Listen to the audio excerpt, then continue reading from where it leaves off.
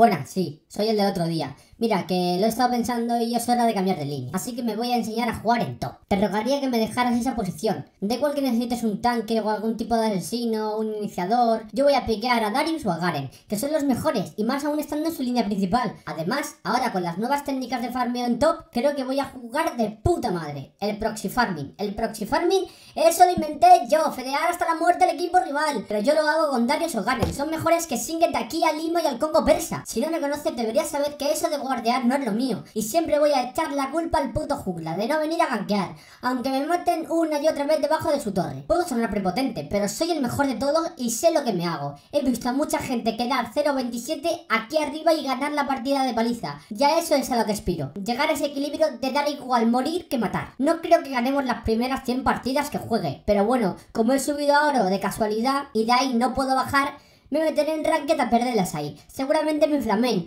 aunque la realidad son ellos los que arruinan mi juego y mi estrategia de trolling farming, ¿sabes? Yo tengo una misión y no me voy a parar a mirar a otro lado. Si el de mid lo matan porque bajó el de mi línea, que espabile. Y si no, haberme dejado mid a mí, que es mi mejor línea. Me dice textualmente, top noob no SS, o top dap SS. ¿Y qué pasa, hijo de puta? Que si digo eso del SS no te van a matar, suficiente tengo yo con tu flameo cuando me matan, que además me hablas en alemán. Porque eso de tat SS, eso tu puta madre. Date ese tu puta madre, gace humana. Me vas a flamar incluso si te matan a ti. La culpa échasela al jungla, hostia, que tiene que estar en todas las líneas a la vez y no lo hace. Bueno, el otro día me dijeron unos campeones viables totalmente en la línea de top. De esos que me gustan a mí, que reviven 10 veces. Tac, ya lo probé. Pero sus mocos son muy débiles. Me han dicho que una taganibia se convierte en un huevo. Es genial. O Atros. Pero me han dicho que es un campeón muy difícil, que no es darle a la Q y a la R y ya está, ¿eh? Pero vamos, que este también resucita entre los muertos. Yo me rusheo el ángel de la guarda y no hay Dios que me mate, y nunca mejor dicho. Ya estamos con lo de Top Pool Blue. ¿Qué eres, poeta? Que no entiendo tu puto lenguaje, cojones. Y encima va con el puto espantapájaros ese, el, fil el filetes chic. Ah, espera, espera, espera, que quiere que me quede el azul. Ah, claro, claro, voy, voy, voy, espera, espera, espera. Soy Atros y lo necesito morir. Deja, deja, deja, deja. Jungle ha abandonado el juego. Encima que le hago caso y me quedo con el azul,